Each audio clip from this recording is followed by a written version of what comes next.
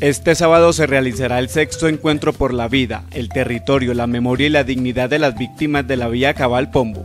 En este evento los familiares de las personas asesinadas por los paramilitares desde el 2000 hasta el 2002 se reúnen no solo para recordar a sus seres queridos masacrados por las AUC, sino para exigirle una vez más al Estado justicia y reparación integral.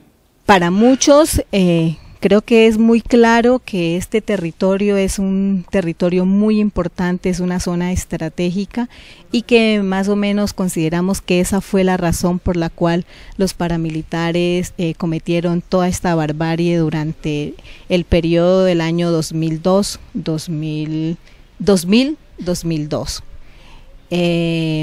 entonces es como como conmemorar ese día para no olvidar. Denunció esta defensora de derechos humanos que la impunidad ha reinado en estos casos, ya que la gran mayoría de las víctimas no sabe ni siquiera el estado de los procesos judiciales ni qué juez los está llevando. Hasta ahora, pues, por ejemplo, eh, después de transcurrido más de 10 años, apenas unas cuantas víctimas saben, por ejemplo, qué juez tiene el, proceso, eh, porque todos entraron en, el proceso de ley de justicia y paz.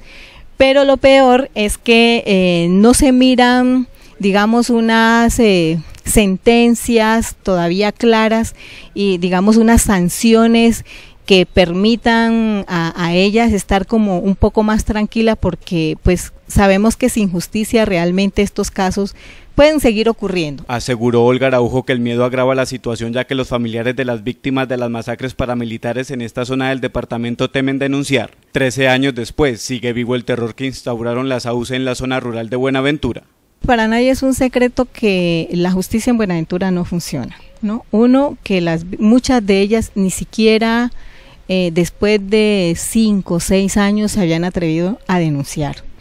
Eh, otras simplemente fueron convocadas para eh, recibir lo de lo de la medida material que ofrece el Estado, que mm, nos parece como irrisorio. Para los defensores de derechos humanos del Valle del Cauca, la construcción de paz con justicia social en el departamento exige que este tipo de hechos sean investigados y sancionados, mucho más cuando se trata de que las víctimas sean reparadas en el marco del posconflicto que se avecina.